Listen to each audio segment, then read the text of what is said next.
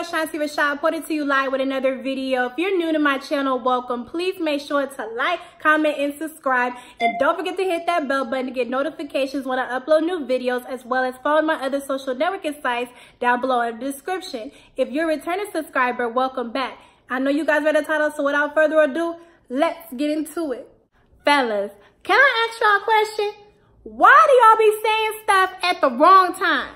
You know that saying, it's a time and place for everything? Well, baby, Michelle Jackson's boyfriend had the right time and the wrong person. Let me tell y'all something. Michelle Jackson is a New Orleans native that got into an argument with her boyfriend. Now, mind you, her boyfriend has a prosthetic leg. Now, what set off Miss Jackson is he said, I'm gonna break up with you. I don't know what happened before.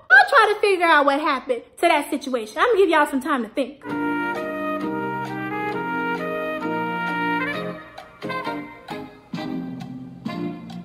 If y'all said he went to his homeboy's house, you're wrong. If you thought he went to his side chick's house, you're wrong. If you think he went to the strip club, oh, you all the way wrong. This man goes to his room and goes to sleep and thinks he gonna have a good night's rest.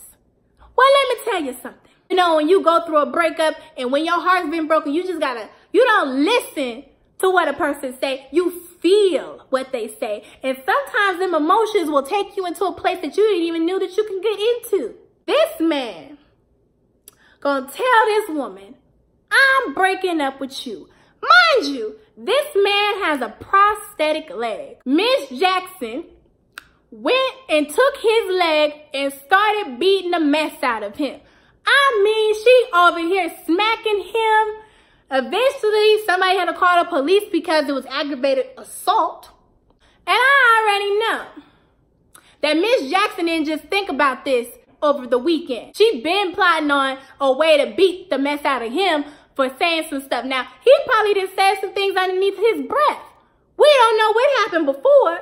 We don't know what know what happened in between. But I know the end result is he thought he could walk out of her life that easy. He really thought that he was going to get away with breaking up with Miss Jackson. I know he probably sitting back saying, I'm sorry, Miss Jackson. Ooh, I am for real.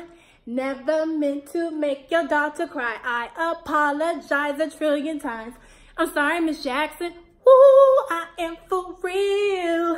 Never meant to make your daughter cry. I apologize a trillion times. Hey, what's your girl Ashanti Rashad. I just want to thank you so much if you made it this far into the video for watching. If you guys haven't already, please make sure to like, comment, and subscribe. And let me know what you guys think of today's topic as well as any future topics that you guys want to see on my channel. See you next time. Peace.